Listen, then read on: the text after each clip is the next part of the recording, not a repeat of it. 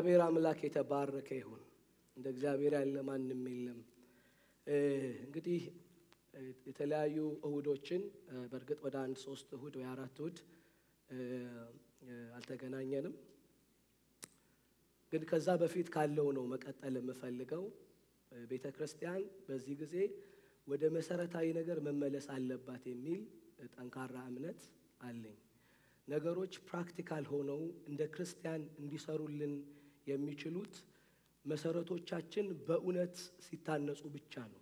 እነዛ እውነቶች ደግሞ በግልጥ በመጽሐፋችን ላይ የተቀመጡ ግን ከልምድ የተነሳ ብዙዎቹን የቀየርናቸውና ሕይወት በአማኝ ዘንድ ትርጉም የሌለው ፍቅር የሌለበት ደስታ የሌለበት ረፍት የሌለበት ያደረጉ ናቸው አስተምህሮቶቹ በራሳቸው እና ወደ መድረክ ኢየሱስ መመለስ አለበት የሚለው እንደ ቤተ ክርስቲያን ያለ አቋም ደግሞም እንደ አገልጋይ ያለ አቋም እግዚአብሔር ፈጥሮልናል ብዬ አምናለሁኝ።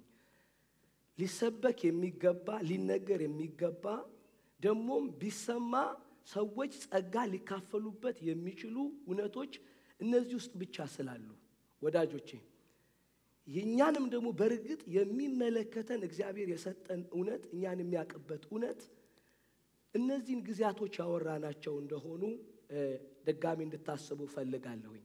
እና ምንድን ነው really passion ህ ካላችሁኝ really passion ህ ካላችሁኝ በእኛ ዘንድ ክርስቶስ በኃይል እንዲገለጥ ነው እንዲብራራ ፈልጋለሁ። አሁን ባለኝ የአገልግሎት conviction ላይ መድረካችን ላይ ኢየሱስ በኃይል መነገር አለበት ብዬ በጣም አምናለሁ። ሁላችን እንደ ግለሰብ በምድር ላይ ስንኖር የግለሰብ challenge ኦቻችን አሉ። መጽሐፍ ጽድቁንና መንግስቱን በመፈለግ ውስጥ ሌላ ሁሉ ይጨመራል በሚል ጥቅልል ሐሳብ አባት ስለሆነ የሚያስፈልገንን ስለሚያውቅ እነሱን ነገሮች መንካቱ ስለማይቀር በነዛ deal ተደርጎ ነገሮቻችን ከእግዚአብሔር ጋር ግን ባለን relationship ለማምለክ ስንመጣ ለመስማት ስንመጣ ይህንን የክርስቶስን ሕይወት በእኛ ዘንድ practical የሚያደርግልን በመድረካችን ላይ የኢየሱስ ክርስቶስ መወራት ብቻ ነው። መጽሐፉን በትክክል ደግመን ስናገላብጠው ከሱ ውጭ ሐዋርያቶቹ ወሬ አልነበራቸው እና ከዚህ በተለያየ የሃይማኖት ትምህርት ስንርቅ ስንርቅ ደግሞም ሃይማኖት በባህሪው ሰዎችን control የማድረግ ስሜት ስላለበት control የምንና እናደርግበትን መንገዶች በትምህርት ውስጥ እናደርጋለን። ሰው ታንጾ እግዚአብሔርን እየወደደ ለእግዚአብሔር መኖር የሚችለው ኢየሱስ ሲወራለት ብቻ የማትወዱትን እግዚአብሔር ልትታዘዙት አትችሉም። የማትወዱትን እግዚአብሔር ልታገለግሉት አትችሉም። እግዚአብሔርን ደግሞ ለመውደድ ቀድሞ ያመጣውን ፍቅር መቀበል አስፈላጊ ነው ብለን ተነጋግረናል። ከመስጠት የማይጀምር ነገር ነው ነው ክርስትናችን ከመቀበል የሚጀምር ነው። ስለዚህ የምንቀበለው ነገር በጣም በጠነቀረ ቁጥር የምንሰጠው ነገር ከህይወታችን እየበዛ ይሄዳል። ስለዚህ የተቀበልነው ነገር ግን እግዚአብሔር ራሱን የገለጠበት እውነቶች ናቸው ወይ? አሳሳቢ ነው እሱ። ምክንያቱም በአገልግሎቱ ስለከረምን ብዙ ኢየሱስ የማይወራባቸው ቀናቶች ሰምተን ስለምናውቅ ኢየሱስ የማይነቅ ኢየሱስ ስሙ የስብከት መሀል መሀል ላይ ልክ እንዳለው ሁለት ነጥብ የጴንጤ መፈክር ኢየሱስ ክርስቶስ ጌታ ነው ብሎ ቶፒኩ ሌላ ኢየሱስ መሀል መሀል ላይ የሚገባ አራት ሁለት ነጥብ አራት ነጥብ አይነት ስለሆነ ማለት ነው። ኢየሱስ ክርስትና የምንጀምርበት የመግቢያ በር ብቻ ሳይሆን ከገባን በኋላ የምንኖርበትም አጠቃላይ የእግዚአብሔር መንግስት ሀሳብ ነው። ኢየሱስ መግቢያ ብቻ አይደለም መኖሪያም ጭምር ነው። ስለዚህ ይህንን ኢየሱስን በማወቅ ውስጥ ህይወት ይታነጻል፣ ምንም ጥያቄ የለውም። ስለዚህ በጥንቃቄ እንደገና ወደ እግዚአብሔር ቃላት መመለስ አለብን፣ ወደ እግዚአብሔር እውነት መመለስ አለብን ነው። ከዘመርን ኢየሱስ መዘመር አለበት፣ ከሰበክን ኢየሱስ መሰበክ አለበት። በቃ የእናንተ ጉዳይ በዚህ ውስጥ ነው መልስ ያገኘው ነው። እግዚአብሔር ዓለምን የተዋወቀው እንደገና በልጁ በኢየሱስ ክርስቶስ ብቻና ብቻ ነው ነው የሚልን መጽሐፍ። እሱ ባልተወራበት ቦታ ፈጽሞ ጸጋ ሊሰራ አይችልም። ለጊዜው ልትነቃቁ ትችላላችሁ። ለጊዜው የሆነ ነገር ልትሞክሩ ትችላላችሁ። በዘለቄታ የክርስትና ህይወት ክርስቶስን በመስማት የሚነቃ አዲስ ፍጥረት ነው የተካፈል ነው። ኢየሱስ ሲሰማ የሚነቃ የሚጠነክር ሰው ነው በውስጣችን ያለው ብለናል። ይህንን ትምህርት ስንጀምር የእግዚአብሔርን የጦር ዕቃ ሁሉ ስለማንሳት ብለን የጀመርነው ከዛ በኋላ ያንን አወራንና የመዳን ራስ ቁር ላይ ነው የነበር ነው። ስለዚህ ይህንን text ያመጣልናል። ያንንም ስንነጋገር ምንድን ያለው በክፉ ቀን ፈጽማችሁ ለመቆምና ክፉን ለመቃወም እንድትችሉ ሁሉን ፈጽማችሁ ለመቆም እንድትችሉና ክፉን ለመቃወም እንድትችሉ ለመቃወም እንድትችሉ የእግዚአብሔርን ዕቃ ጦር ሁሉ አንሱ አለን። አይደለም መቼ ሲባል በክፉ ቀን ለመቆም እንድትችሉና ሁሉን ፈጽማችሁ ለመቆም እንድትችሉ ክፉ በተገለጠበት ጊዜ ለመቃወምና በዛ ቀን ደግሞ ለመቆም እንድትችሉ የእግዚአብሔርን ዕቃ ጦር ሁሉ አንሱ አለን። አንሱ ካለ በኋላ ግን ስለ እውነት ስለ እውነት ተነጋግረናል። ስለ ጽድቅ ተነጋግረናል። ስለ ሰላም ወንጌል ተነጋግረናል። ከዛ በኋላ ደግሞ ስለ የመዳን ራስ ቁር ተነጋገርን። የመዳን ራስ ቁር ስንነጋገር ሰው የመዳን ራስ ቁር ማለት የዳነበት እውነት ማለት ነው ብለን ተነጋገርን። የዳነበትን እውነት ሲረሳ ቁሩን ልክ እንዳወለቀ ሰውዬ ነው ነው። ስለዚህ ሰይጣን በፍላጻው አታክ የሚያደርገው የሰውየውን ራስ ነው። መዳን በራስ በኩል ስለሆነ ማለት ነው። ራሳችሁ ላይ ቁር ይሁን ብለን ሄልሜት አድርጉ ብሏል መጽሐፍ አልን። የመዳን ራስ ቁር ምንድን ነው አለን? የዳንበት እውነት ነው ነው የዳንበትን እውነት መርሳት የለብንም። ምክንያቱም ሰዎች ከዳኑበት እውነት በኋላ መዳናቸውን ቀጥሎ ሊፈጽሙበት የሚፈልጉት እውነት ከዳኑበት እውነት ውጪ ስለሚሆን ብዙ ጊዜ ሰዎችን እንደ ዳንክ በምን አወክ ብንለው ኢየሱስ ክርስቶስ ብሎ አይጀምርም። I think እጸልያለሁ መሰለኝ ትንሽ ትንሽ አስራቴን እሰጣለሁ ብሎ የዳነበትን ማረጋገጫ ሲፈልግ በክርስቶስ ኢየሱስ ላይ ባለቀው ነገር ላይ ያለ እምነትና ትምክት ሳይሆን ሰውየው ወደ ራስ መመለስ ነው። ስለዚህ ኢየሱስ ወዳጆቼ በመጽሐፍ ውስጥ የእግዚአብሔር ዓለም መግቢያ ብቻ አይደለም፣ የእግዚአብሔር ዓለም መቆያም ጭምር ነው። ኢየሱስ የሌለበት ቦታ እግዚአብሔር ይህንን ዓለም ከፍርድ ውጭ ሊያውቀው አይችልም። መጽሐፍ በግልጥ ነው የነገረን። ስለዚህ በመጀመሪያውም ኪዳን ውስጥ ዛሬ እንደውም ኢየሱስ የስሬት መክደኛ የሚል ሀሳብ እንድንካፈል የፈለግኩት የመዳን ራስ ቁር ትምህርታችን እንዲቀጥል ስለፈለገ የተጠቀምኩት ርዕስ ነው። ስለዚህ ወዳጆቼ የዳንበት እውነት አለ ብለናል። ስለዚህ ያንን እውነት እንደገና እያወራን ያለ ነው። ስለዚህ ሰው መዳኑ የሚጠበቀው አስቀድሞ በዳነበት እውቀት ነው ነው ስለዚህ የመጀመሪያው ጥያቄ በምን ዳንን ነው? እንዴት ዳንን? ደህንነታችን በምን ተመሰረተ ነው ብለን የጀመርነው በምን ዳንን ስንል ከኤፌሶን ምዕራፍ ሁለት ጀመርንና ገና ኃጢአተኞች ሳለን አለን አይደለም፣ ገና ሙታን ሳለን፣ ገና የእግዚአብሔር ጠላቶች ሳለን የእግዚአብሔር ቸርነት የምህረቱ የፍቅሩ ባለጠግነትና የጸጋው ባለጠግነት እኛን ወደ ምን አመጣን? ከክርስቶስ ጋር ወደ ህይወት አመጣን አለን። እኛን ሲገልጠን ምን አለ? ሙታን ነበራችሁ፣ ከእግዚአብሔር ጋር ጠላቶች ነበራችሁ። ከዛ ደግሞም በደለኞች ነበራችኋል። በዚህ ምክንያት ደግሞ ሙታን ናችሁ፣ የላችሁም፣ exist አታደርጉም ነበር አለ። እግዚአብሔር እዚጋ ሲመጣ ምን አለ? ቸርነቱ፣ ፍቅሩ፣ የምህረቱ ብዛትና የጸጋው ባለጠግነት አራቱ ስለነበሩት ሰውየውን ቢሞትም እንኳን ከክርስቶስ ጋር ወደ ህይወት አመጣው አለን። ከማጋ በክርስቶስ ኢየሱስ ሰውየውን ወደ ህይወት። እኛ ግን ምን ነበርን ሲባል በደለኛ፣ ኃጢአተኛ፣ ከዛስ ከእግዚአብሔር ጋር ጠላት ነበርን ይላል መጽሐፍ። እግዚአብሔር እዚህ ውስጥ ምን ሊገልጥ ወደድናልን? ቸርነቱን ፍቅሩን ምህረቱንና የጸጋውን ባለጠግነት ለእግዚአብሔር ባይዘዌ እንድንዘምርለት የሚያደርገን ነገር እነዚህ ነገሮች በእኛ ዓለም እኛን በማዳን ስለተገለጡ ነው። አይደለም እንዴ? ስለዚህ even በእምነት እንኳን የመጣንበት ዓለም የእግዚአብሔር ዓላማ እምነታችን እንዲገለጥ አይደለም። ቸርነቱ እንዲገለጥ፣ ፍቅሩ እንዲገለጥ፣ ምህረቱ እንዲገለጥና የጸጋው ባለጠግነት እንዲገለጥ ነው።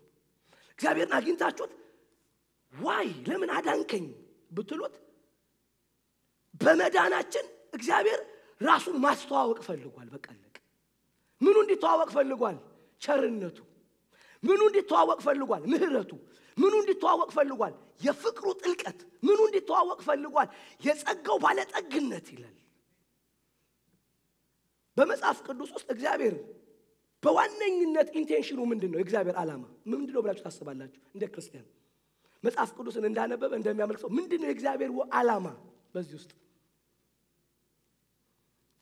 ራሱን መግለጥ ነው። by the way በመጽሐፍ ቅዱስ ውስጥ ሂዱ ተመልከቱት። እግዚአብሔር intention ኑ ምንም ነገር ያድርግ እግዚአብሔር በዋነኝነት ሀሳቡ ራሱን ማስተዋወቅ ነው፣ ራሱን መግለጥ ነው። ስለዚህ በደህንነታችሁ እናንተ እንዳትገለጡ እሱ እንዲገለጥ አራት ነገሮች ተማር። የመጀመሪያ ቀን ምኑ ቸርነቱ ተገለጠ፣ ምሕረቱ ተገለጠ፣ ፍቅሩ ተገለጠ፣ የጸጋው ባለጠግነት ተገለጣልን። ስለዚህ ደህንነቴን ሳስብ እነዚህ ነገሮች እግዚአብሔር እንደገለጣቸው ነው የማስበው። ስለ እኔ ግን at the same time ሲነግረኝ ምን አለ? የእግዚአብሔር ጠላት በደለኛ፣ ኃጢአተኛ፣ የሞትክ ሰው ነህ አለኝ። እነዚህን መጥቶ እኔን ሲያወጣ እግዚአብሔር ራሱን ምን አደረገ? ለዓለም display አደረገ። አሜን ነው? ስለዚህ አንዳንድ ሰው ልክ ስታዩት እግዚአብሔር እንዴት ቸር ነው አትሉ? ለዚህ ነው ጳውሎስ ምን አለ? የምህረቱን ባለጠግነትና የጸጋው ክብር በእኔ እንዲመሰገናለም ያለው ወይም የጸጋው ባለጠግነት ይታይ ከኃጢአተኛ ዋና የሆንኩትን እኔን አዳነኛል። ከኃጢአተኛ ምን የሆንኩትን አለ ዋና የሆንኩትን እኔን ምን አለኝ አለ ምኑ ይገለጥ ዘንድ ምኑ ምስጋና እንዲያገኛለ። ስለዚህ ሁል ጊዜ በሳሊቬሽናችን ምስጋና የሚያገኘው በሳሊቬሽናችን እግዚአብሔር እነዚህን ባህሪያቶቹን ከገለጠ ነው። ሰው እኛን ሲመለከት የቸርነቱን ብዛት፣ የምህረቱን ብዛት፣ የጸጋውን ባለጠግነት፣ የፍቅሩን ጥልቀት እንዲመለከትብን ነው የዳን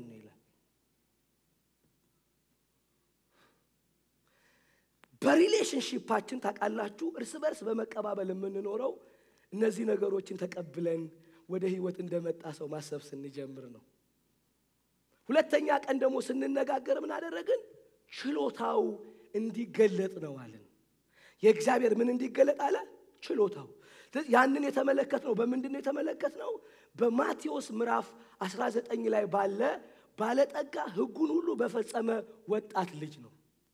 ያልሰረቀ፣ ያልዋሸ፣ አስራቱን የከፈለ እንደ ህጉ በጥንቃቄ የተመላለሰ ግን የእግዚአብሔር መንግስት እንዳልገባ በሚያውቅ ማናችሁም ብትሆኑ ይህንን ልጅ እንደማትሆኑ ታውቃላችሁ አይደል? ህጉን ሁሉ አድርጌያለሁ የሚል ግን ህጉን ሁሉ ያደረገው እግዚአብሔርን ስለሚወድ ሳይሆን ራሱን ስለሚወድ የሆነ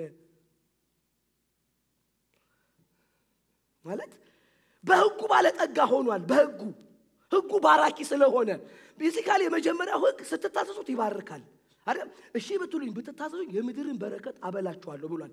ልጁ ኢየሱስ ጋር የዘላለም ህይወት ፍለጋ መጣና እንዳላገኘው እርግጠኛ ነው። ሲጠይቀው ኢየሱስ ትእዛዛቱን ፈጽም ሲል የትኞቹን በህግ የተጻፉትን እነዚህንማ ከልጅነት ያደርጋቸዋለሁ ሲል ኢየሱስ አንድ ነገር እንደጎደለው ሊያሳየው ፈለገ።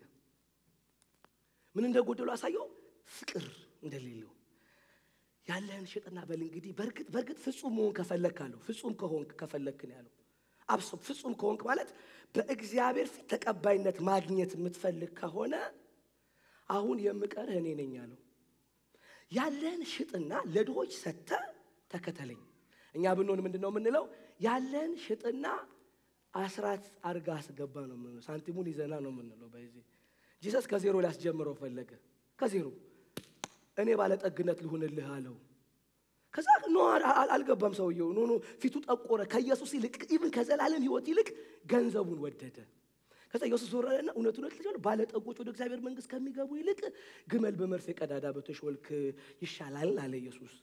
ከዛ ጴጥሮስ የዚህ ሰው ያለ መጽደቅ ቦዘር አደረገው። ጴጥሮስ እንዴት ይህንን የመሰለ ልጅ አይጸድቅም? ቦዘር በጣም ተረበሸና እኔ የምልህ ኢየሱስ ክርስቶስ እና ታዲያ ማን ሊጸድቅ ይችላል አለው።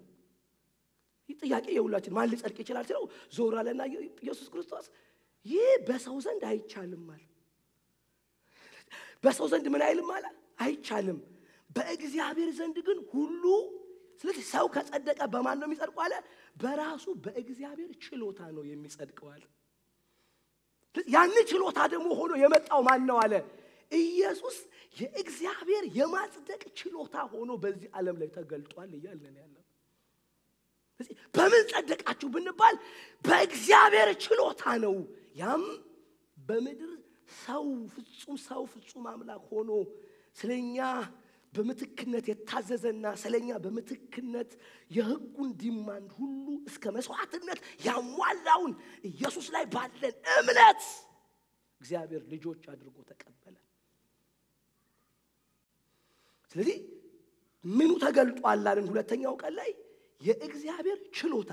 ለምንድን ነው ግን እነዚህን ሁለት ነገሮች ስንነጋገር ያልነው? ስጋ የለበሰ ሁሉ በእግዚአብሔር ፊት ምን እንዳይል አለ?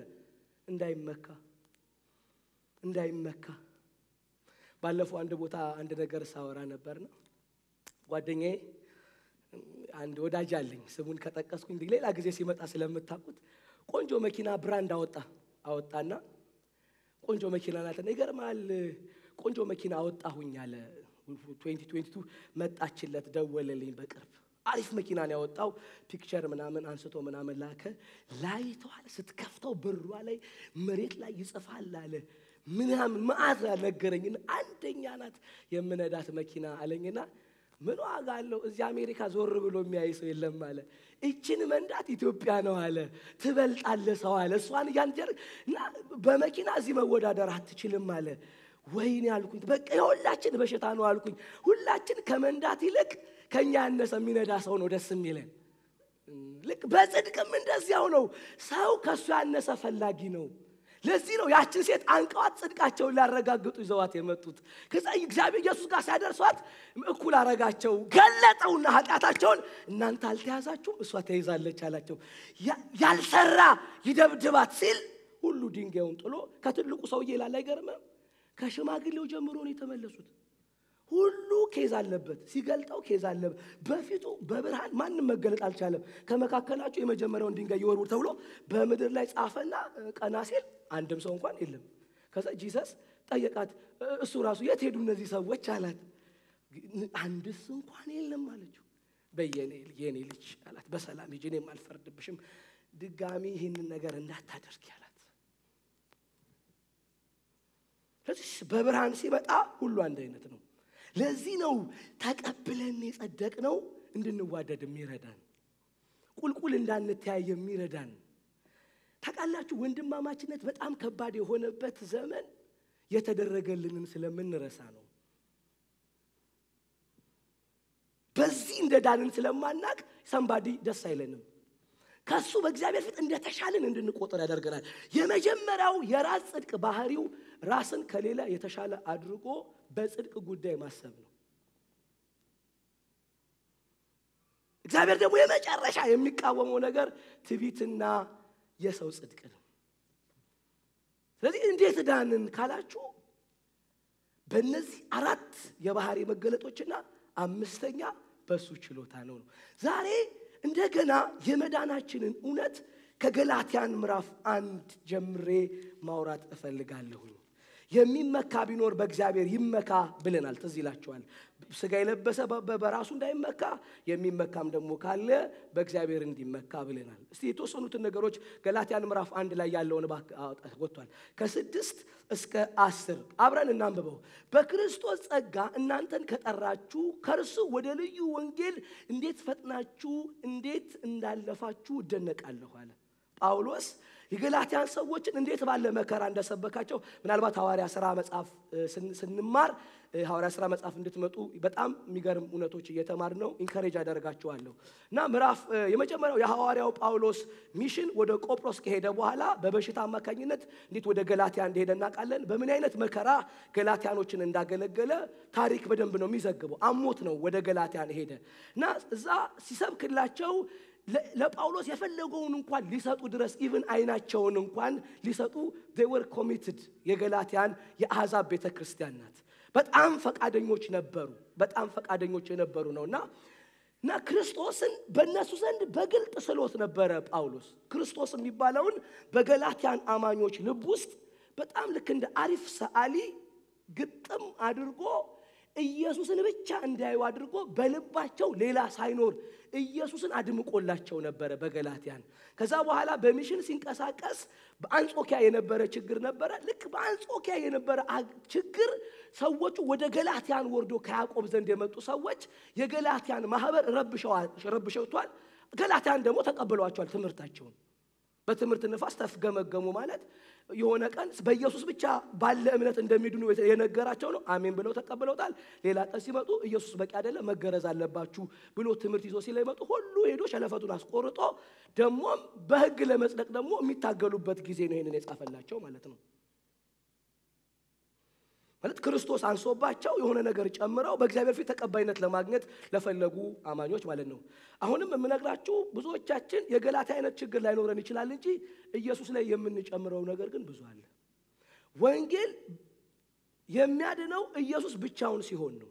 ኢየሱስ ላይ ሳይጨመር ሲቀር ነው። በክርስቶስ ጸጋ እናንተ ከጠራችሁ ከእርሱ ወደ ልዩ ወንጌል ልዩ ወንጌል እንዴት ፈጥናችሁ እንዳለፋችሁ እደነቃለሁ። ተደንቋል ሐዋርያው ከአገልግሎቱ መርህ ውጭ ሆኖበታል። እርሱ ግን ሌላ ወንጌል አይደለም፣ የሚያናውጦቹ የክርስቶስን ወንጌል ሊያጣምሙ የሚወዱ አንዳንዶች አሉ እንጂ አለ። ይህንን ወንጌል የሚያጣምሙ አንዳንድ ሰዎች አሉ አለ። ኢየሱስ በቂ አይደለም የሚሉ በተለያየ አስተምሮት በተለያየ conviction ማህበረ ምዕመኑን ኢየሱስ በቂ አይደለም እያሉ የሚያስተምሩ አንዳንዶች አሉ። ይሄ ደግሞ ልዩ ወንጌል ነው አላቸው። ነገር ግን እኛ ብንሆን አለ እኛ ብንሆን ወይም ከሰማይ መልአክ ከሰበክንላችሁ ወንጌል የሚለይ ወንጌል ቢሰብክላችሁ የተረገመ ይሁን አለ ጳውሎስ። እኛ እንኳን ድጋሚ መተን ኢየሱስ አይበቃም ካልናችሁ በእርግጥ የምነግራችሁ እንደዚህ ያለው እኔ በሆን የሰማይ መልአክ ቢሆን እና አሉ አለ የተረገመ ይሁን ብሎ ነው የረገመው። ጳውሎስ የረገመበት ቦታ እዚህ ጋር ነው። ባይዜ ከአፉ እርግማን ቃል የወጣ ኢየሱስ በቂ አይደለም ብሎ የነገራችሁ ላይ እና ከመልአክ እንኳን ዓለም የመጣ ቢሆን በዚህ ምክንያት የተረገመ ይሁን ብሎ አንዱ እርግማን ስላልበቃው ሁለተኛ ጊዜ ይላል። ሁለት ጊዜ ነው የረገመው። ባይዞ አስቀድመን እንዳል እንዲሁ ሁለተኛ እላለሁ ከተቀበላችሁት የተለየውን ማንም ቢሰብክላችሁ የተረገመ ይሁናል። አስቀድሞ ከሰበክንላችሁ ከዛ የተለየውን ማንም ቢሰብክላችሁ አንድር ከርስ ይኖራል። ከዛ ሰው ወይስ እግዚአብሔርን አሺ አሰኛለሁ ወይም ሰውን ደስ ላሰኝ እፈልጋለሁ። አሁን ደስ ባሰኝ ሰውን ደስ ባሰኝ የክርስቶስ ባሪያ አይደለሁም አለ። አይገርማችሁ? ማን ምን ይላል ብዬ አይደለም አለ። እኔ ስብከት የሰራሁታል አሜን እንድትሉ እንድታጨበጭቡ አይደለም አለ። ከዚህ ውጭ ግን እውነት የለም አለ። ከዚህ ውጪ እውነት አድርጎ የሚያመጣ ሰውዬ ካለ አለ የሰማይ መልአክ ለምን አይሆንም አለ። ደግሜ እላለሁ ብሎ ሁለት ጊዜ የተረገመ ይሁን ያለበት ቦታ ይሄ ነው። ህይወታችን ከበረከት እንዲጎድል የምናደርገው እግዚአብሔር እኛን አስቀድሞ ከተቀበለበት መቀበል በተለየ ሁኔታ ቀጥሎ ይቀበለናል ብለን ካሰብን ነው። ማንም ሰው በእግዚአብሔር ፊት በሚኖርበት ዘመን ሁሉ ከክርስቶስ ውጭ ተቀባይነት ማግኘት አይችልም። አደለም በመጀመሪያው ኪዳን፣ በሁለተኛው ኪዳን፣ በመጀመሪያው ኪዳን እንኳን እግዚአብሔር እነ ሙሴንና እነ አሮንን የተገናኘው ክርስቶስን በሚወክሉ ጥላ ላይ ነው። በሰጣቸው ሕግ ላይ እንኳን ተመስርቶ አልነበረም ኮሚኒኬት ያደረጋቸው። ክርስቶስን አመላካች የሆኑ ነገሮች አሉ። ለዚህ ነው ካህኑ ወደ መቅደሱ ሲገባ ምን ይዞ ይገባል አለ? ደም እየረጨ ነው የሚገባው በስሬት መክደኛው ላይ።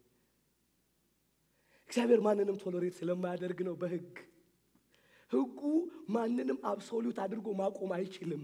ለዚህ ነው ሐዋርያ ሥራ ምዕራፍ 13 ላይ ልትጸድቁበትና ልትድኑበት የማይቻላችሁን ይህንን መጽሐፍ በየሰንበቱ ታነቡታላችኋል።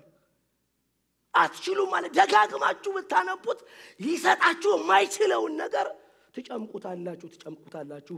አርብ ስንነጋገር ምን ብለናል? አሁን ታውቃላችሁ የእንጀራና ጡጦ የሚባል አለ። ፓሲፋየር ታውቃላችሁ? እንደምንም ብታኝቁት ወተት አይወጣውም። ብታደርጉት በኃይል ብትጨምቁት ብታስጨምቁት ወተት ሊወጣው አይችልም። የእናት ጡትን ወተት ጡት ግን ተክቶ ሕፃን ግን እንቅልፍ ያስተኛል። አንዳንድ ትምህርቶች የሆኑ ነገሮች የምንረሳባቸው ናቸው እንጂ እድገት የምናገኝባቸውና ለውጥ የምናገኝባቸው አይደሉም። pacifier የሆኑ teaching ኦች አሉ። በቃ እወቁት። በቃ ይሄ pacifier ነው teaching ኡ በሉት። አፈ ላይ ጠብ ይደረግባል። sucking reflex ህን በቃ ቆንጆ ስብከት ነው ብለህ ነው እንጂ የምትወጣው ጠብ አይልልህም። ኢየሱስ ነው የህይወት ውሃና ምንጭ። ሃሌሉያ! እሱ ግን ያካል አለ። እኔ ከምሰጠው ውሃ የጠጣ ሰው ድጋሚ አይጠማም ኢየሱስ ብቻ ነው ውሃ ያለበት። ኢየሱስ ብቻ ነው ወተት ያለበት የመዳን እውቀት አለ። አሁን እንደተወለዱ ህፃናት ራሱን የዳናችሁበትን እውነት ተመኙት ነው ያለው። የዳናችሁበትን እውነት ለምን ለማደግ በሱ ለመዳን በሱ የቱን ተመኙት አለ? የዳናችሁበትን ራሱን ተመኙት አለ። ምን ትሉበት አለ? ታድጉበትና ትድኑበት አላችሁ አለ። ደጋግማችሁ የምትድኑት አስቀድማችሁ በዳናችሁበት ወንጌል አለ። ስለዚህ ልዩ ወንጌል የሚሰብክ ሰው ካለ እላለው የተረገመ ይሁን። እኔ ምን እንደጠቀል ሁላችን እንደ ቤተ ክርስቲያን መድረካችን ላይ ኢየሱስን ፈላጊ እንድንሆን እፈልጋለሁ። መለየት፣ test ማድረግ pacifier ሲሆን በቃ መንጠቅ። አሜን ነው ወይ ጡጡጡ at least ይታለብና እኮ ይሰጣል። አሜን ነው ወይ?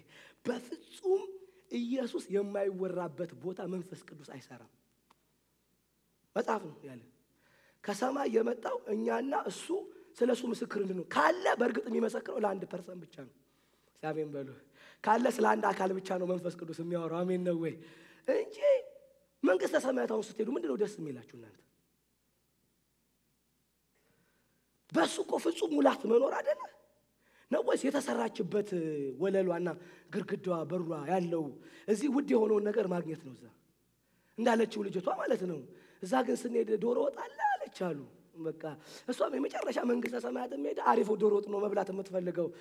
በቃ ዶሮ ወጥ አለ ብለ እናንተ አሁን እዚህ አጣኸውን እዛ ማግኛ ነው እንዴ? አያችሁ፣ እሱ ሁሉን በሚገዛበት አሰራር ወደ ፍጽምና የምንመጣበት ነው። ኃጢአት የሚባል የለም፣ ፓርሻል እውቀት የለም፣ የሚበሰብስ ስጋ ስለሌለ ህመም የለም፣ ሞት የለም። በእሱ ፍጹም አሰራር ውስጥ መኖር እኮ ነው። ለዚህ እኮ ነው መብራት እንኳን የላትም ፀሐይና ጨረቃ የለም ይልና እሱ ራሱ በቂ ሰማይ ተስፋ ስናደርግ እሱ ብቻ በቂ የሆነበት ዓለም ነው። ፀሐይ የለም ብሎ እሱ ፀሐይ ነው የተባለበት እኮ ዓለም ነው። አንተ ሌላ ከእሱ ውጭ የሚያበራ የሌለበት አሜን ነው ወይ? ለዚህ ነው ሐዋርያው እንደዚህ አለ፣ ከእሱ ላይ የጨመረ ሰው ካለ ደግሜ ላለው የተረገመ ይሆናል። ሶስት ላይ ሲመጣ እንደዚህ አለ፣ የማታስተውሉ ምዕራፍ ሶስት ገላትያን ምዕራፍ ሶስት ቁጥር አንድ ላይ አድርግልኝ እስቲ የማስታስተውሉ የገላትያን ሰዎች ሆይ በዓይናችሁ ፊት ኢየሱስ ክርስቶስ እንደተሰቀለ ሆኖ ተስሎ ነበር አለ። ጳውሎስ በአማኝ ልብ ውስጥ አንድ ነገር ካለ በቂ ነው ብሎ ሰክሰስ ነው ብሎ ያምናል። ልክ እንዳገልጋይ ኢየሱስ ተሰቅሎ ካለ ማለት ኢየሱስ በልባችሁ እንደተሰቀለ ሆኖ በአገልግሎቱ ሁሉ ለገላትያን አማኞች የተሰቀለ ክርስቶስ ነግሯቸው ነበር። ሳሊቬሽን የሚገኝበት ማለት ነው። ተስሎ ነበረ። ለእውነት እንዳትታዘዙ አዚም ያደረገባችሁ ማን ነው? ይህን ብቻ ከእናንተ እንድማር እወዳለሁ። በሕግ ሥራ ወይስ ከእምነት ጋር በሆነ መስማት መንፈስን ተቀበላችኋል? በየትኛው ኦቢዲየንሳችሁ ነው መንፈስ ቅዱስን የተቀበላችሁታል? ኢየሱስ ሞቶላችኋል፣ ተነስቶላችኋል ብላችሁ አሜን ብላችሁ በአሜን አይደለም እንዴ የተቀበላችሁት መንፈስ ቅዱስን አለ ነው ወይስ ተገርዛችሁ ነው አለ ነው ወይስ ሰንበት ጠብቃችሁ ነው ነው ወይስ አስራት ከፍላችሁ ነው አለ። የመጨረሻ የአብ ስጦታ መንፈስ ቅዱስ ነው። አይደለም? እሱን የተቀበላችሁት በእምነት ነው አለ። እንዲህ የማታስተውሉ ናችሁ በመንፈስ ጀምራችሁ አሁን በስጋ ትፈጸማላችሁ? በኢየሱስ ባለ እምነት ጀምራችሁ ደግሞም በእናንተ ጉድ ጉድ ይህንን መዳናችሁን complete ልታደርጉ ታስባላችሁ። በውኑ ከንቱ እንደሆነስ እንደዚህ ያለ መከራ በከንቱ ተቀበላችሁን? በእምነት ምክንያት የተቀበላችሁት መከራ ከንቱ ነው። ኢየሱስ ያድናል ብላችሁ የተቀበላችሁት መከራ እንግዲህ መንፈስን የሚሰጣችሁ በእናንተ ዘንድ ተአምራት የሚያደርግ በሕግ ሥራ ነውን? ወይስ ከእምነት ጋር በሆነ መስማት ነው? እንዲሁ አብርሃም በእግዚአብሔር አመነ፣ ጽድቅም ሆኖ ተቆጠረለት ይላ ቀጥሎ እንዲሁ ደግሞ በክርስቶስ የሚያምኑ አሕዛብ ከአብርሃም ጋር ይባረካሉ ተብሎ የተጻፈው ለአሕዛብ በእምነት ነው ብሎ ነው የቀጠለው። ስለዚህ አብርሃም እግዚአብሔር አንድ ቀን አውጥቶት ሲነግረው ከዕድሜው በላይ ነገር ሲያወራው በ logic የማይረጋገጥን ነገር አይደለም አየ፣ አመነ። እምነት ማለት እንደዚህ ነው። መጣና አብርሃምን impossible በ biology ሊረጋገጥ የማይችል ነገር አወራው። መጥቶ አብርሃም የብዙ ልጆች አባት አደርግሃለሁ ሲለው አመነ የሚለው ቃል ባይዘዌ የሂብሩ ወርድ አሜን አለ ነው። ምን አለው አብርሃም? እግዚአብሔር ወይ ትችላለህ፣ አምናለሁ እኔን ማድረግ ትችላለህ አለው። ትችላለህ ሲለው ምንድነው ታውቃላችሁ? ይህንን አሜንህን ጽድቅ አድርጌ ቆጥሬ እላለሁ። ከዚህ በኋላ በእኔ ፊት ጻድቅ ነህ ምን ብሎት አባት አደርግሃለሁ ሲለው ምን አለው እግዚአብሔርን? አባት አንተ ከሆንክ ትችላለህ እኔን ማድረግ ትችላለህ አሜን አለው። የ Hebrew word ከእግዚአብሔር ሐሳብ ጋር አሜን ስላለ ነው የሚለው። አሜን አለው። impossible ነገር ሲያወራው ለአንተ የሚሳን ነገር የለም አለ። ለዚህ ነው መጣና የገላትያን ጸሐፊ ያንን እምነቱን እግዚአብሔር ምን አድርጎ ቆጠረለት አለ። imputed ሆነለት። ለአብርሃም እምነቱ ጽድቅ ተደርጎ ተቆጠረለት። credited ተደረገ ማለት ነው። አብርሃም አለ ይሄ ዛሬ በፊቴ አሜንህን አለው አሜንህን ያንተ በእኔ ፊት ያለ ጽድቅ አድርጌልሃለሁ አለው። አብርሃም በምን ጸደቀ ካላችሁኝ በስራ ነው አይደለም አለ። ነገር ግን በእምነት ነው አለ። ከእምነት በኋላ ነው ሕጉ የመጣው የመገረዝ ኪዳን የመጣው ከእምነት በኋላ ነው። እምነቱን ግን እግዚአብሔር ምን አድርጎ ቆጠረለት? ትችላለህ ሲለው አዎ ጽድቅህ እሱ ነው አለው። በእኔ ፊት ወዳጆች ተነጋግረናል። እግዚአብሔር በመጀመሪያው ኪዳን አብርሃምን በሉ ኢሳይያስን በሉ ዳንኤልን በሉ የትኛውንም በብሉይ ኪዳን የነበሩትን አባቶች የመሰከረላቸው በአንድ ነገር ብቻ ነው። ስለ ማናቸውም ህይወት መስክሮ አያውቅም እግዚአብሔር ታውቃላችሁ። ስለ ማናቸውም ንጽህና መስክሮ አያውቅም። ስለ ንጽህናቸው እግዚአብሔር ዕብራውያን ላይ መጥቶ ለሁሉ ስለምን መሰከረላቸው አለ? ስለ እምነታቸው በነበሩበት ዘመን ሁሉ ምን ብለውኛል አለ? አምነውኛል አለ። ስለዚህ አብርሃምን ምን አደረገው? የመጀመሪያ ጎስፕል ሲሰበክ ለአብርሃም አሜን ትችላለህ ሲለው እግዚአብሔር ያንን አሜኑን ምን አደረገለት? በእኔ ዘንድ ጽድቅህ ነው አለው። ስለዚህ ማንም ሰው በእግዚአብሔር ፊት በምን ይጸድቃል አላቸው። ታዲያ እናንተ አሁን በእምነት የጀመራችሁትን ኑሮ በሕግ ስራ ፍጹም ልታደርጉ ትሞክራላችሁ ነው እያላቸው ነው ያለው። አሁን ጥያቄ ልጠይቃችሁ። በእግዚአብሔር ፊት በክርስቶስ ኢየሱስ ያላችሁ ተቀባይነት ፍጹም እንደሆነ ታምናላችሁ ነው ጥያቄው። ከኢየሱስ ውጭ የገባችሁበት ዓለም እንኳን ሌላ ተጨማሪ እንደማያስፈልጋችሁ እግዚአብሔር እናንተን ለመቀበል እኔን ለመቀበል ማለት ነው። ሰይጣን ይህንን እውቀት ያወልቅና ነው ጭንቅላትን የሚመታ። በተስፋ መቁረጥ በሐዘን ነው የምትኖረው። በኢየሱስ ብዙ ሰው ደስተኛ አይደለም፣ እንደ ጎደለው ሰው ነው የሚኖረው። ይሁት ኑሯችሁን የተወሰደባችሁና እኮ ሐዘናችሁን የፈጠረው የሌላችሁ ነገር አይደለም። ይሄንን የመዳንን ራስ ቁሩን ያወልቅና እግዚአብሔር ጋር ገና ተቀባይነት ለማግኘት የምታደርጉት ትግል ነው ሐዘንን ያደረገው። ዘላለሙ የተረፈለት ሰውማ በቃ በመኖር ውስጥ የመጨረሻው ሞት ነው። ከሞተ ደግሞ የሚቀሰቅሰው አምላክ ስላለው አረፈ።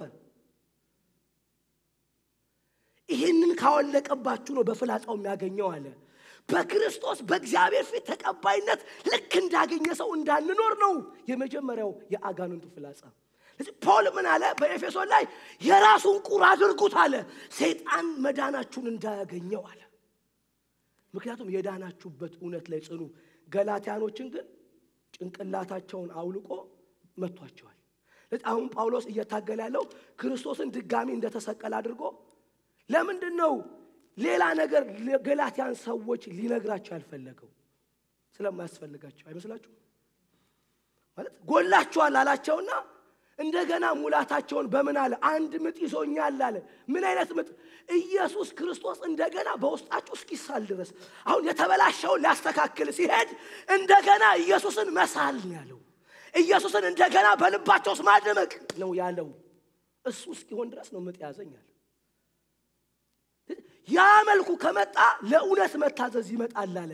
ሰይጣን ጉልበታችሁ በክርስቶስ ላይ ያላችሁ መደገፍ ውስጥ እንደሆነ ስለሚያውቅ የመዳን ራስን ያደረገው እሱን እንዲያገኘው ደግሞ ፕሮቴክት አድርጉት። በምኑ?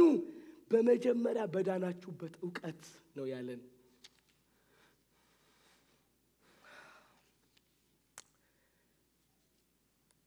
ሰዓት ትንሽ ነው ያለን። አንዲት ነገር ብቻ መንካት እፈልጋለሁ። next week ም ስለምንቀጥል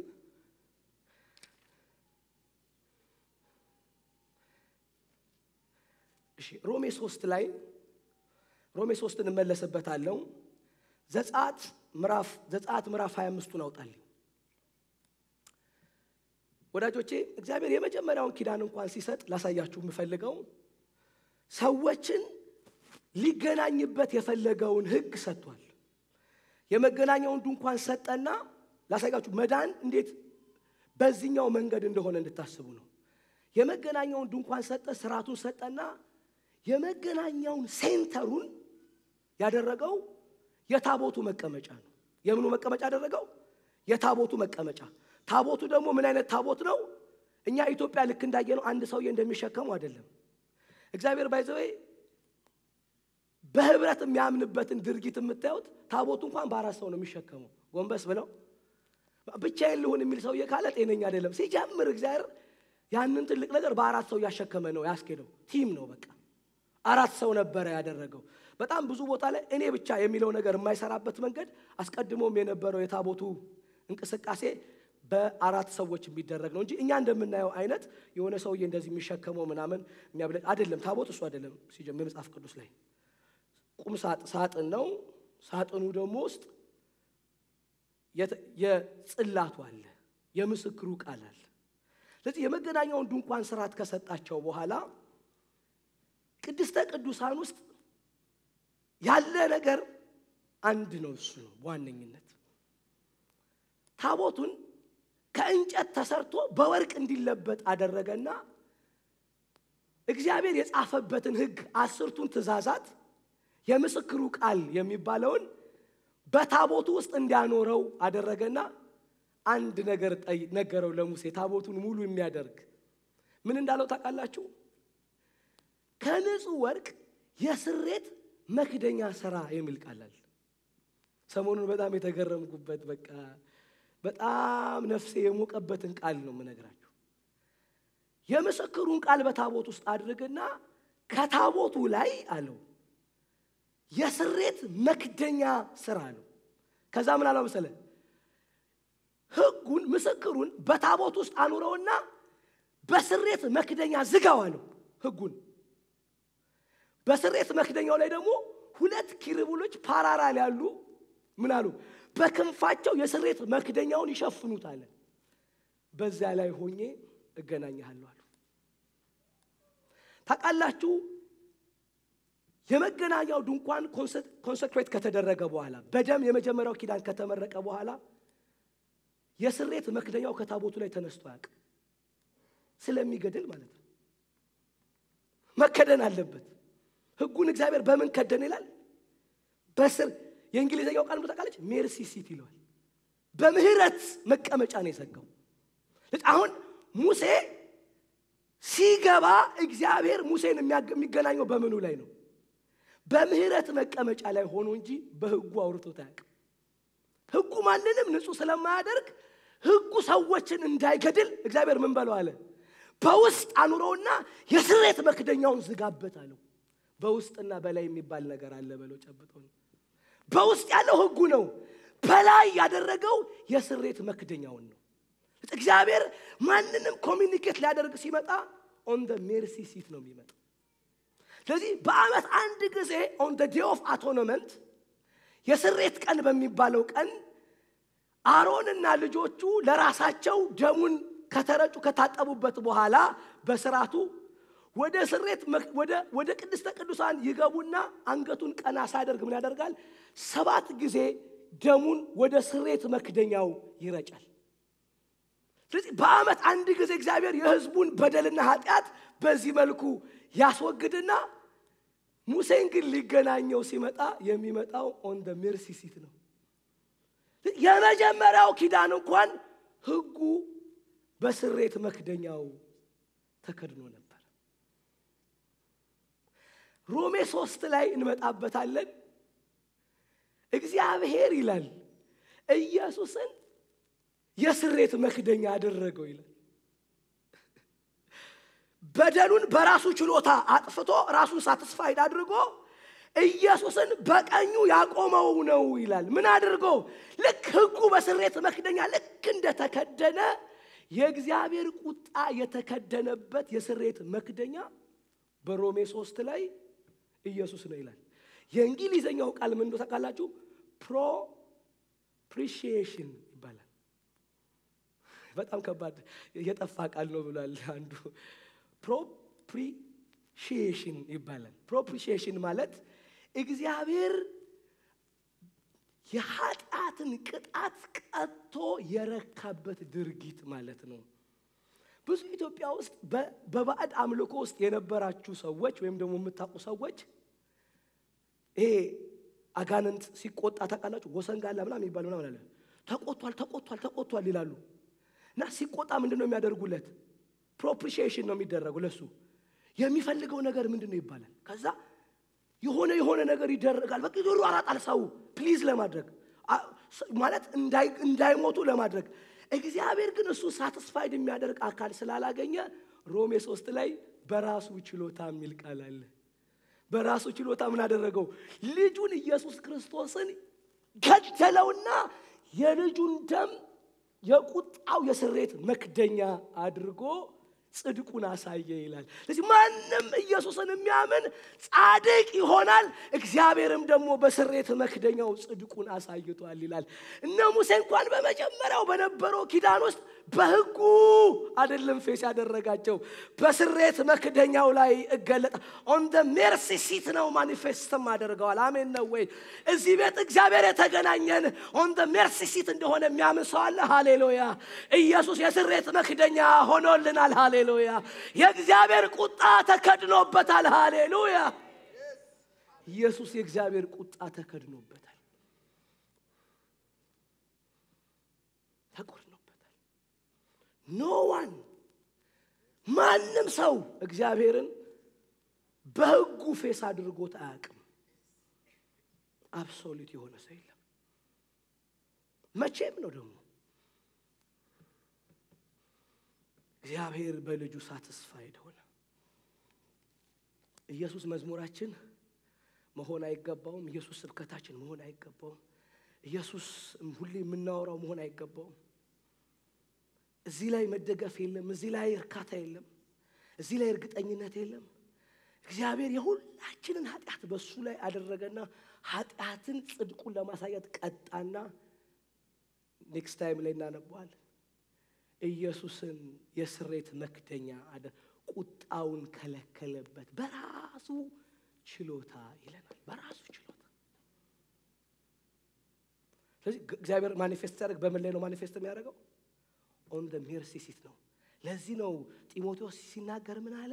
አንድ እግዚአብሔር አለ አለ ና በሰውና በእግዚአብሔር መካከል ደግሞ አንድ አላል አንድ ብቻ አላል እሱም ፍጹም ሰው የሆነው ኢየሱስ ነው አለ። እግዚአብሔር ራሱን ቁጣ ለምሳሌ እግዚአብሔር ከሴጣን ያዳነን የሚመስለው ብዙ አማኝ እንዳለ ታውቃላችሁ። እግዚአብሔር ከማን ያዳነን? ከማን ያዳነን? እሺ በመጽሐፍ ቅዱስ ውስጥ ማን የተበደለ የተበደለ የተበደለ ማለት ነው እግዚአብሔር። እኛን ከሴጣን ያዳነን ከራሱ ነው። እስቲ ከራሱን ያዳነኝ በሉ። ለዚህ ነው እግዚአብሔር ያንን ሁሉ ስርዓት ያደረገው ባይዘ ክፉ እንዳያገኛቸው አይደለም፣ እሱ በቁጣ እንዳያገኛቸው ነው። ባይዘ የመጨረሻ አደገኛ ቁጣ የሚቆጣ እሱ ነው። ለዚህ ነው ምን አለ ሰው ከሰው ጋር ቢጣላ ሰው ከሰው ጋር ቢጣላ ሰው እኮ ያስታርቃል አለ ሰውየው። ሰው ግን ከእግዚአብሔር ጋር ከተጣላ ማን ያስታርቃል አለ። ሰው ከእግዚአብሔር ጋር ከተጣላ እግዚአብሔር ካልተታረቀ ሰው ሊያስታርቅ አይችልም ማለት ሰው ከእግዚአብሔር ጋር ተጣልቶ ስለነበረ ሰው አይደለም ጣልቃ ይገቡ ፍጹም ሰው ፍጹም አምላክ የሆነ የእግዚአብሔርን ቁጣ በምን የሚፈልገውን ጥያቄ ሁሉ በመመለስ propitiation ኑን አድርጎ satisfied አደረገውና የስርየት መክደኛውን ቁጣው ላይ ዘጋ። ስለዚህ ኢየሱስን ስናይ እግዚአብሔር ጻድቅ ነው ተቆጥቷል ትላላችሁ። እኔ ደግሞ ሴት እኔን ያጸድቀኛል። እግዚአብሔር የኃጢአትን ሁሉ ዋጋ ወስዷል ላለሁ። ስለዚህ እግዚአብሔር እኔን በኢየሱስ ላይ ሆኖ approach ያደርገኛል። ልጄ ይለኛል፣ እኔን በደለኛውን ማለት ነው። ሃሌሉያ! ኢየሱስ የስርየት መክደኛዬ ነው። እስቲ በሉ ቁጣው ተከድኖልኛል በሉ። እግዚአብሔር ልጁን ኢየሱስን በመቆጣት ረክቷል በሉ። ሃሌሉያ! ስለዚህ መጽሐፍ ኢየሱስ ነው የእግዚአብሔርን ቁጣ የከደነ ይለናል። ኢየሱስ ነው ከእግዚአብሔር ቁጣ ያዳነን ይለናል። ተከድኗል የእግዚአብሔር ቁጣ satisfied ስለሆነ በዛ ላይ ሆኖ ነው ዓለምን እግዚአብሔር approach ማድረግ የሚፈልገው። አንድ ነገር ብዬ ጨርሳለሁ። ሁለተኛ አንደኛ ቆሮንጦ ሁለተኛ ሁለተኛ ቆሮንጦስ ላይ ያለውን አድርግልኝ። እቺ ነገር አብረን እንድናነብ እፈልጋለሁ። ነገር ግን አሳባቸው ደነዘዘ። ብሉይ ኪዳን ሲነበብ ያ መጋረጃ ሳይወሰድ እስከ ዛሬ ድረስ ይኖራልና በክርስቶስ እስቲ ብቻ በሉ፣ ጮክ በሉ እስቲ ብቻ በሉ፣ በክርስቶስ ብቻ በሉ የተሻረ ነውና ነገር ግን እስከ ዛሬ ድረስ የሙሴ መጽሐፍ በተነበበ ጊዜ ሁሉ ያ መጋረጃ በልባቸው ይኖራል። ከዛ ቁጥር 16ን አብረን ወደ ጌታ ግን ዞር ባልን ጊዜ ሁሉ መጋረጃው ይወሰዳል። ወደ ማ ዞር ባልን ጊዜ? ወደ ጌታ ዞር ባልን ጊዜ ብቻ መጋረጃው ይወሰዳል። አሁን ሕጉ ወይ ይገልሃል ወይ ወደ እግዚአብሔር እንዳትገባ ይከለክልሃል አለ። እዚህ ጋር መጣና ስለዚህ ክርስቶስ ብቻ የተሻለ ነው። ነገር ግን ከክርስቶስ ውጪ አሁን በዚህ ሰዓት ላይ መጋረጃው አለ ወይ? አዎ። ነገር ግን እስከ ዛሬ ድረስ የሙሴ መጽሐፍ በተነበቡበት ጊዜ ሁሉ ያ መጋረጃ በልባቸው ይኖርና እግዚአብሔርን ይከለክላቸው አትገቡም ይላቸዋል። ኢየሱስ ወጥቶ በየትኛውም ነገር ሰውየው ተቀባይነት ለማግኘት ሲሄድ እግዚአብሔር ምን ይለዋል? ለዚህ ነው መጽሐፍ እግዚአብሔር ትዕቢተኛን ይቃወማል አይልም ይላል። ትዕቢተኛን ማን ነው? ትዕቢተኛ ማን ነው? በራሱ ጽድቅ እግዚአብሔርን አፕሮች ለማድረግ የሚሄደው ሰውዬ እግዚአብሔር ያደርገዋል፣ resist አትገባም ይለዋል። ለትሑታን ግን ጸጋን ጸጋ በመጽሐፍ በማን የመጣ ነው? በኢየሱስ ስላመናችሁ በተቀበላችሁ ጸጋ። ስለዚህ እግዚአብሔር ትሑት ብሎ የሚያምነው ኢየሱስን የቆጠረ ነው። ስለዚህ በኢየሱስ የመጣውን ሰውዬ ግን ምን ያደርገዋል? ጸጋ እየሰጠ እለፍ ይለዋል። approach ማድረግ ይችላል። ስለዚህ ኢየሱስ በሌለበት ቦታ ሁሉ በልባችሁ የመጀመሪያ የሚኖረው ነገር በእግዚአብሔር ዘንድ ተቀባይነት ማጣት የሚባል ስሜት ነው። unworthy እንደሆናችሁ ወደ እግዚአብሔር መግባት እንደማትችሉ ይነግራችኋል ነገሩ። ምን አለ? በኢየሱስ ብቻ። ይሄ መከልከልን የሚያሳይ ነው። ቅድም ግን ያወራሁላችሁ on the mercy seat ይገላል ነው የሚለን። ማንም ሰው በመጀመሪያው ኪዳን በስሬት መክደኛው ላይ እግዚአብሔር ካልተገለጠ ወይም የስሬው መክደኛው ከምስክሩ ቃል ላይ ዞር ካለ ኃጢአተኝነቱን ስለሚመሰክርበት እግዚአብሔር ኃጢአትን ምን ይላል? ይበቀላል፣ ይቆጣል ማለት ነው። ለዚህ ነው ያንን በቀሉን ሁሉ በኢየሱስ ስላደረገ አሁን በኢየሱስ ክርስቶስ በኩል ስትሄዱ እግዚአብሔር ይላችኋል፣ ጸጋ እየሰጠ ይለፍ ይላችኋል። የይለፍ አላችሁ፣ ይለፍ ይለፍ ይለፍ። ኢትዮጵያ ከክፍለ ሀገር ክፍለ ሀገር የሄደ የበረረ የማለት ክፍለ ሀገር ምናምን ሲሄድ ያስቆምና የመጀመሪያ ደረጃ ላይ ይመጣና እንትኑ የሚጠይቀው የይለፍ ወረቀት አለ ይላል ሰውየው። የይለፍ አለ ከአንዱ አንዱ ቦታ ለመሄድ ማለፍ ትችላለህ የሚል ወረቀት። ለዚህ ነው እግዚአብሔር ኢየሱስን ነው ሰዎች ወደ እሱ ዓለም ማለፊያ ያደረገው። ምን አድርጎት? የቁጣው መክደኛ አድርጎት ነው አለ መጽሐፍ። እስቲ ኢየሱስ ቁጣውን ከድኖልኛል የሚል ሰው እያለ በእግዚአብሔር ፊት እንቆማለን። ሃሌሉያ